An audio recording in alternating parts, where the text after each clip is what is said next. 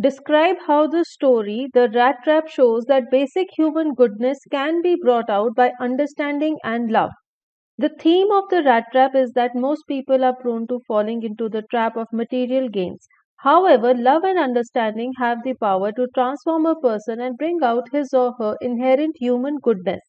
The world has been very cruel to the peddler. So, despite the old crofter's kindness and hospitality, he betrayed his trust and stole 30 kroners from him. The ironmaster's invitation did not impress him either. However, Edla Willmansson's compassion and understanding caused him to change. Her human qualities aided in his development as a gentleman. He was easily able to resist minor temptations.